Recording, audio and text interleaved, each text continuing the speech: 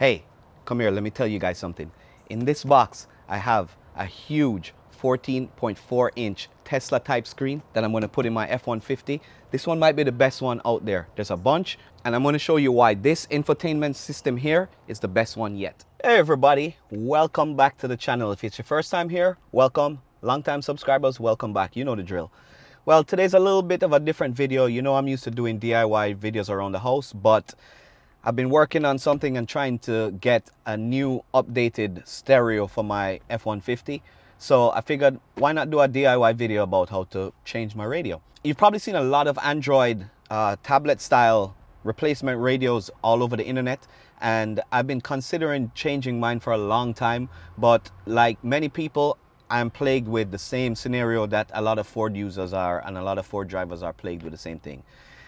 The dreaded sync system. So what typically happens is a lot of these systems when they when you try to replace them on your Ford you know, your Ford series, your Ford F-150, F-250, F-350, whatever it may be. The problem is you usually lose the Sync 3 capabilities and functionalities. And I didn't really want to give that up. I wanted it to be able to still have a bunch of the stock stuff that came with it. Um, so I've been holding out and holding out. And finally, I ran across this company called AutotecPro, not sponsored by them, and they're not paying me for this. I just found their Tesla style radio, and it works with the existing and retains all the old sync functionality, but it gives you the Android style, Tesla style screen in your F-150.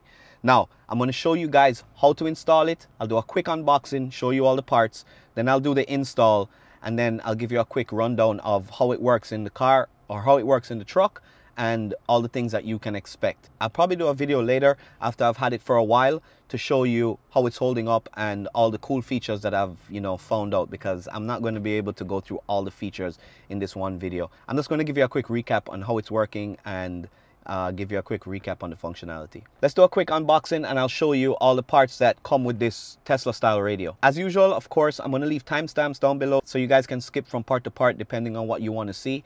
And I'll leave links in the description as always for all the tools and stuff that I'm using in the video. I'll also leave a link to the new radio and where you can get it.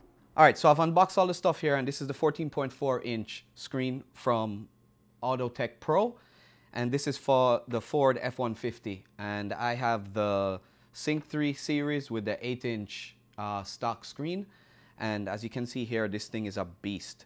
So as we look through the box there's a bunch of stuff that comes in the box. And I'm just going to kind of run through it real quickly and show you guys uh, the front of the screen and all these components. And then I'll flip over the screen and I'll show you pretty much where everything goes.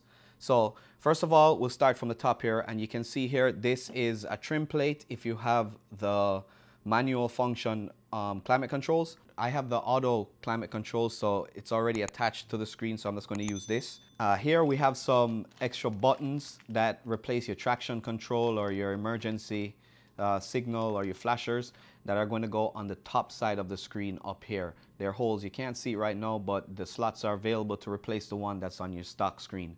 And they also sent some uh, replacement screws here. Uh, these are going to be used on the back of the screen. When we transfer the circuit board from the climate controls on the stock uh, radio.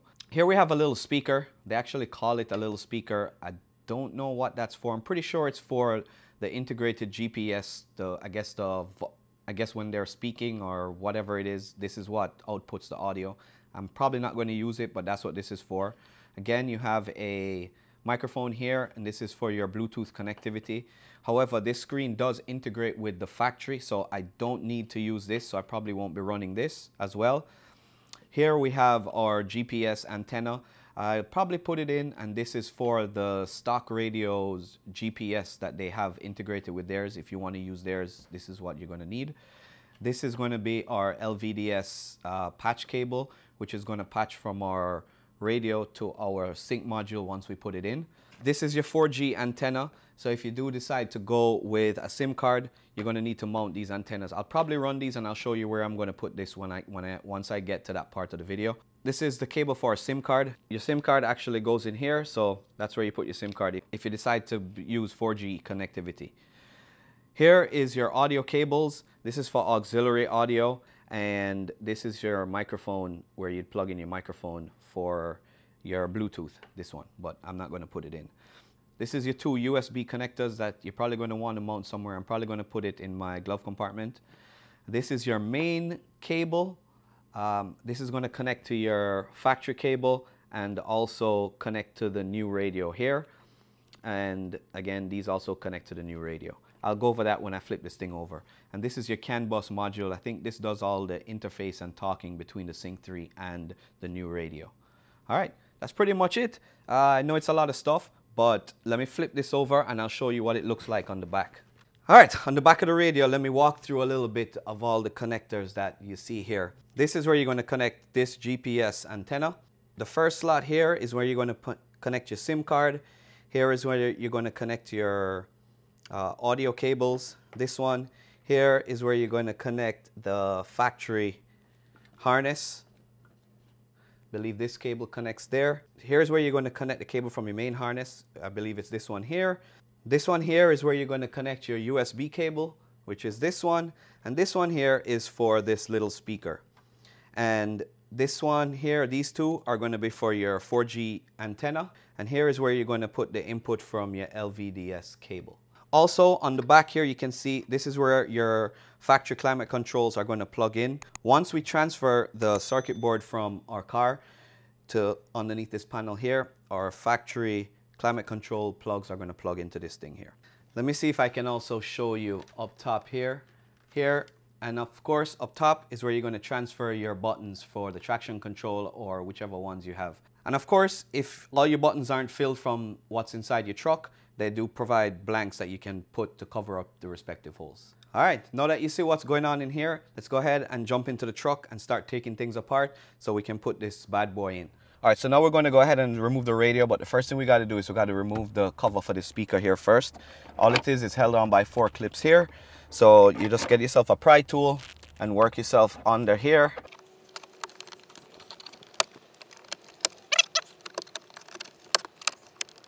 That's it you got the clips here. You can set that aside. And the next thing you're gonna do is you're gonna remove two screws here. They're held in place by seven millimeter screws. So go ahead and remove the screws.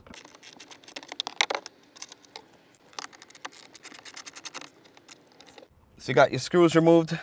The next thing you wanna do is you wanna remove this tray. It's held in by two clips here. So what you wanna do is get yourself a pry tool again and just pry it up.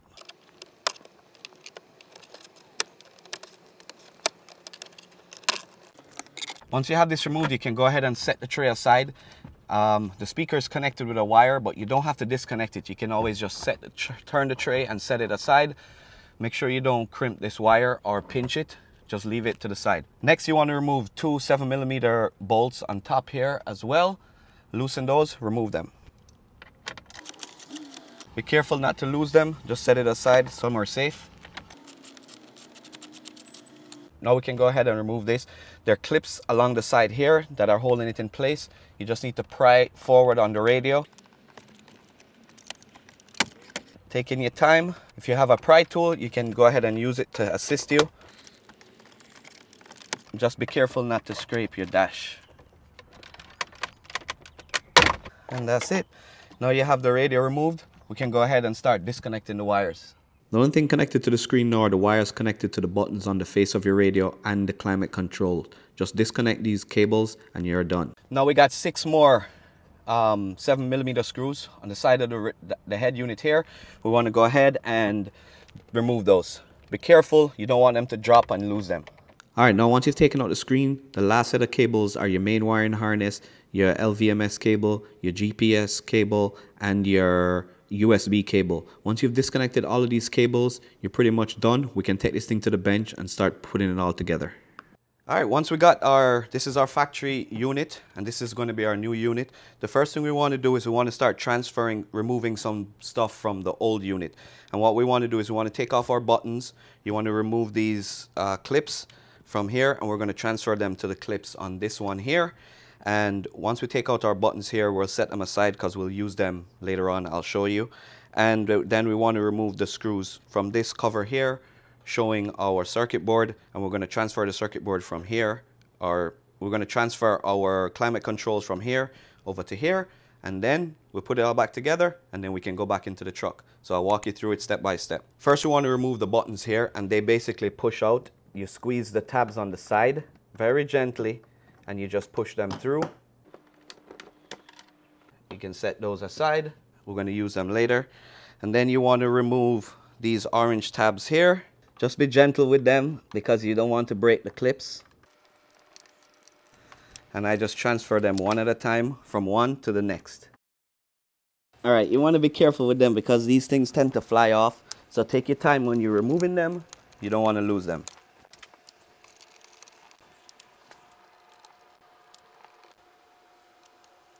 In order to prep for the removal of the circuit board here, we want to go ahead and remove the screws. There are two screws holding here, two Phillips screws.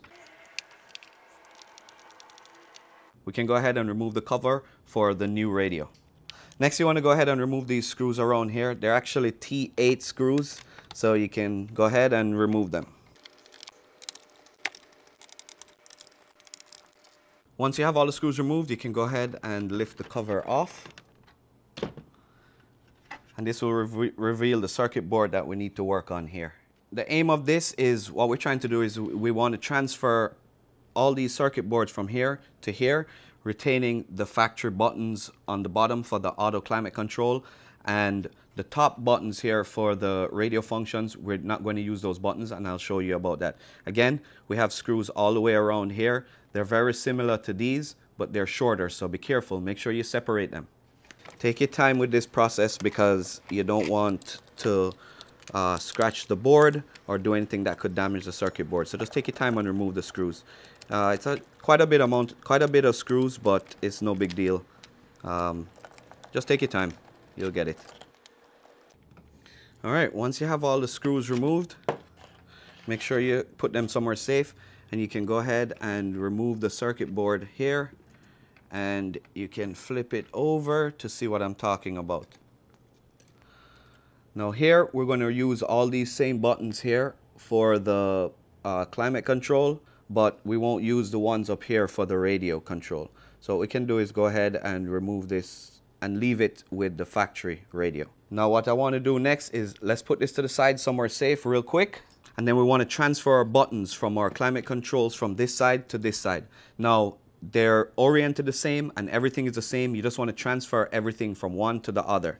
Starting with the left button first, the left knob first, we'll go ahead and remove it.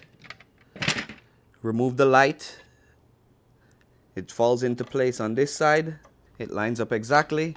And then we can drop our button in and it all lines up exactly the same as it did before. Plug and play.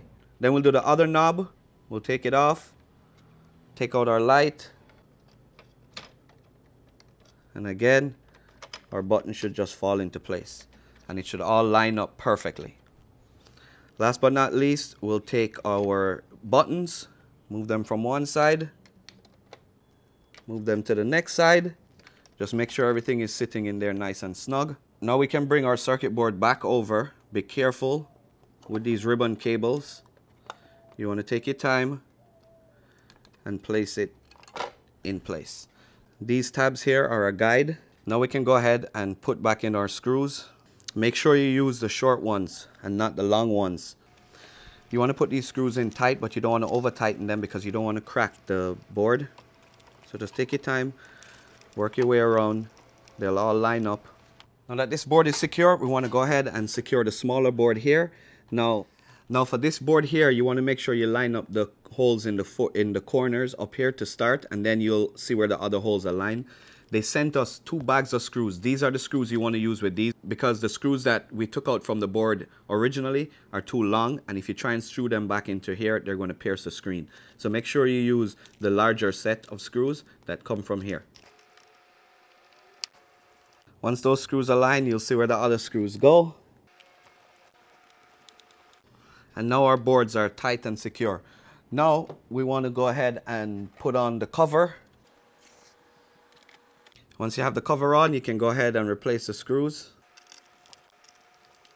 You can also use two of the same black screws like you use for the circuit board in the top holes up here.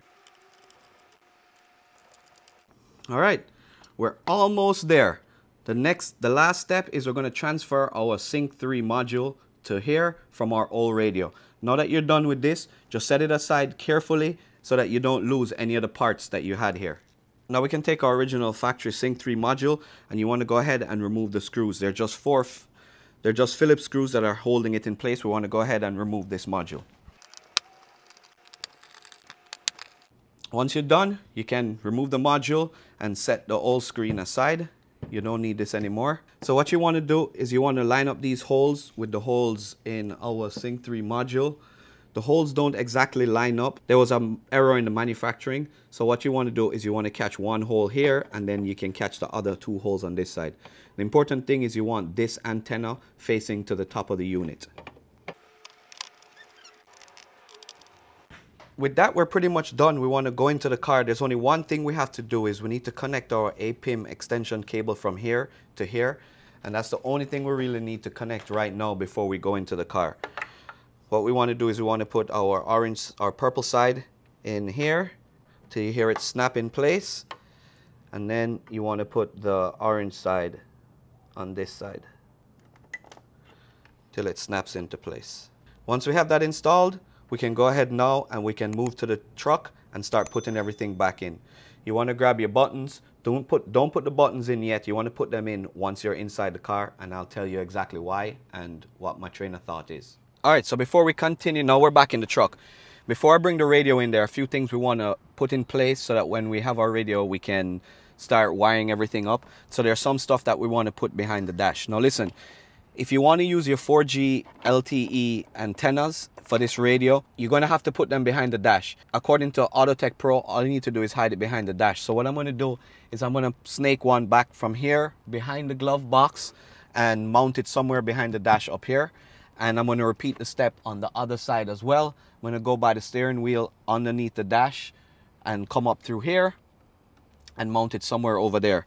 You also want to snake your USB outlets. I'm gonna, for now, I'm gonna put them in the glove compartment, but later on I'll probably transfer them and see if I can move them to the center console. But for now, uh, I'm gonna put this through the glove compartment and we're gonna mount the one, the GPS unit that comes from AutotecPro. We're gonna mount it up somewhere back behind here. It doesn't really matter where you put it, you just wanna put it somewhere flat. You just wanna peel off the adhesive and place it back there and stick it onto something flat.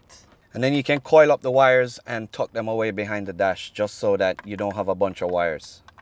Now we can go ahead and pass the USBs through. All you got to do is open your glove compartment. There are two tabs on the side. You just pull them down and you'll have a hole on the side of your glove compartment that you can just push the wires up and through to the other side. So now you have your USBs and I'm going to do the same thing with the SIM card tray.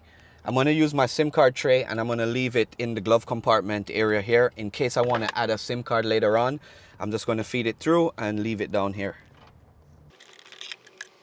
And last but not least, we're going to run our 4G LTE antennas.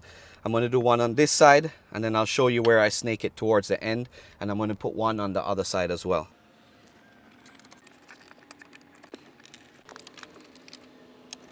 All right, so now we have our 4G antenna, our uh, aftermarket GPS, our SIM card, sorry, our aftermarket GPS, our SIM card, and our USBs run to our glove compartment. Now it's time to bring the radio in and start putting everything back together. All right, the first thing we want to do is we want to get our wiring harness um, ready. Uh, what you want to do is connect your CAN bus here plug it in make sure you get it make sure you get a nice click to make sure it's seated properly. Check your pins to make sure nothing is bent. Once you're good to go slide it in you get a nice tight connection. Okay once you have that done the next thing you want to do is you want to you want to connect your factory sync plug to here. It should only slide in one way. Push it in until it clips in. Once that's in you got that out the way. Once you have that connected, we're going to start putting in our radio and we're going to work with the ones that have the most slack. Now we can take our screen and start connecting things up. Now let's go ahead and start plugging all our wires in. Let's connect our wire from our radio harness and it goes in nice and snug. I like to work with the ones on the bottom because they're harder to get in and out. So we'll go ahead and we put that one in first. Then we can go ahead and put in our USB. These only go in one direction and they only fit one way. So if it's too hard, then you know you're putting it in the wrong direction. We already have our LVDS cable connected. So we're good there. Next we can put in our another put in our other connector from our main wiring harness. And it clicks in, make sure it's tight. Next we'll put in our SIM card cable. Again, make sure it's clicked in nice and tight. And then last but not least, we're going to go ahead and put in our auxiliary audio cables. We may not need this, but I'm going to go ahead and connect it anyway. Again, you want to push it in tight and make sure it clicks in. Now we can go ahead and connect our 4G antennas.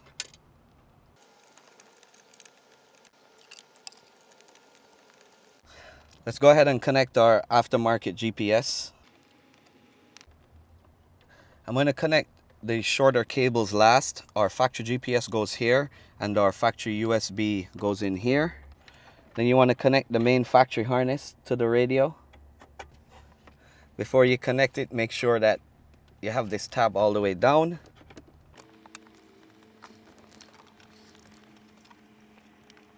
And it should lock in in place.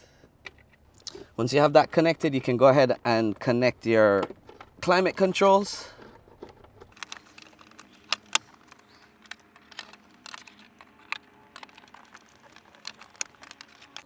You want to get that nice snap in.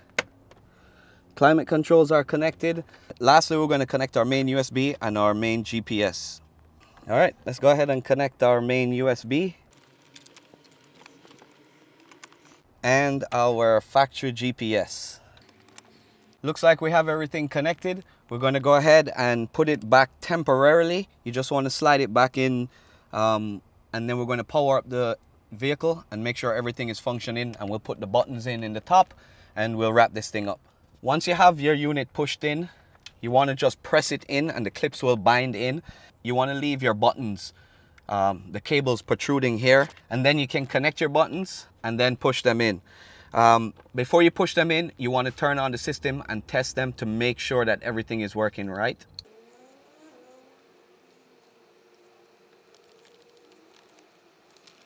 And once you know everything is working right, you can just push the buttons in and they'll click in. And now to put this thing back together, you just put it back in pretty much reverse order from the way you took them apart. You won't be needing the six screws that connected the faceplate here because obviously the clips are the only thing holding it along with the screws that you're going to put back in the top holes up here. Once you're ready, you can just go ahead and tighten those screws in. You don't want to over tighten it, you just tighten it nice and snug. All right, and our radio is in. Now we can go ahead and put the tray for our speaker back in place. You just want to line up all the tabs. Last but not least, we put in our two screws for our speaker.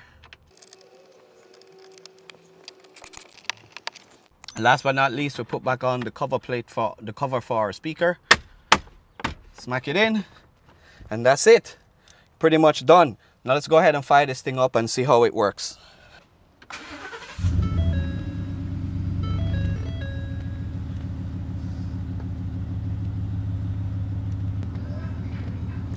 All right, there you go. The boot up time is good. You want to go to console, you can see our original Sync 3 interface here. You want to check that our volume buttons are working. Volume is working fine. Audio is working fine. We want to check our backup camera. Backup camera is working. The doors are working perfectly.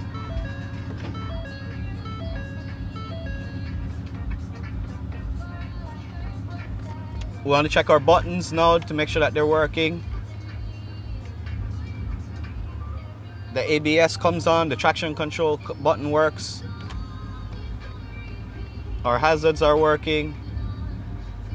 And the 360 camera button works. So we're good. So what we can do now is just go ahead and push our buttons back in.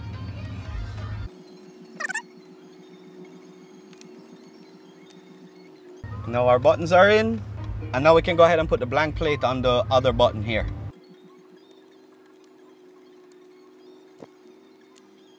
Now our buttons are in, our screen is working fine, and it's working great.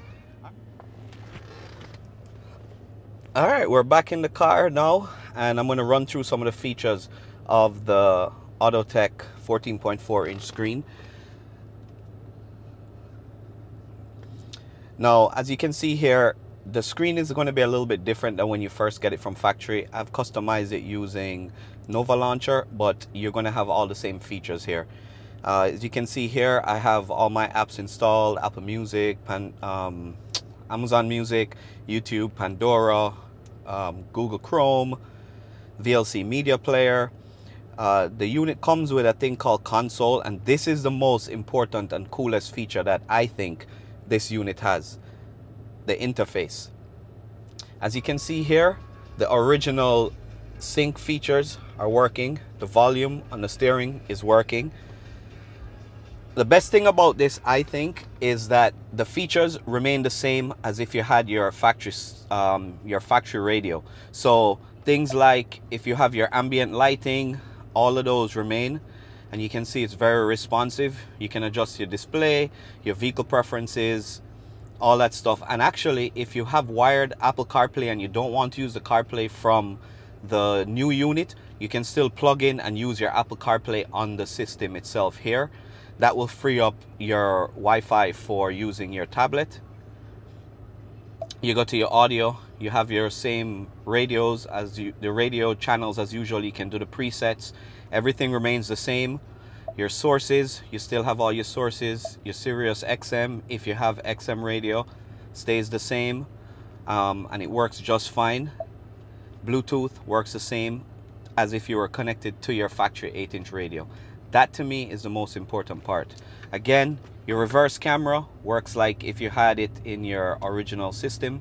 It works perfectly. Um, let me see what else that I can say. Oh, the AC controls, it works both with the um, buttons here or you can use the touchscreen to control your fan speed and change your various temperature settings all of your on your radio all from the screen here or you can use the buttons as well. That's one of the things that I loved about it. Retained all the factory stuff but has Android running on top. As you can see if you go here um, I've paired Apple CarPlay and it connects to my CarPlay. And it's wireless so you get to have your phone hands-free. You don't have to touch anything. It's all controlled here. Um, wireless CarPlay works just as usual Another one of the features that I have that I liked about mine is uh, you can see up here I've installed a SIM card so I can actually use the apps on here and go to the Play Store and download them without having a Wi-Fi connection. I just use my SIM card and I can watch YouTube or whatever whatever else you want. I don't suggest doing that, but you have the capabilities. Um, the settings work just like an Android. So if you're familiar with an Android, this runs Android on here so you can change the settings um, and sideload apps and do all the different things you could do with any Android tablet or Android phone. So yeah, by the way, if you guys found this helpful and you like the content, don't forget to give me a thumbs up and hit that like button. And if you're so inclined, subscribe to the channel for more DIY tips and tricks. I cover a bunch of different DIY things. This was just another one of the projects that I decided to embark on. Let me jump into Google Maps. Google Maps works fine. You can use this on the go. And now you don't have to worry about having your phone connected. You have Google Maps all built into the screen right here and the interface looks amazing. It's huge. The screen is responsive. All the apps work well. They don't there's no lag, there's no glitching, it's not there's no delay. Everything runs smooth and the transitions are great.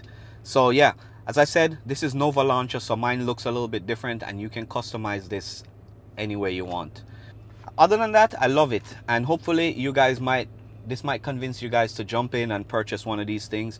So far, I've had no issues. Everything works fine. Everything works flawlessly and I have no complaints. Leave a comment below if there's anything you want to see specific or if there are any questions that you may have about this unit. I'll be glad to answer them if I can. Um, apart from that, thank you guys for watching again and I'll catch you guys in the next video.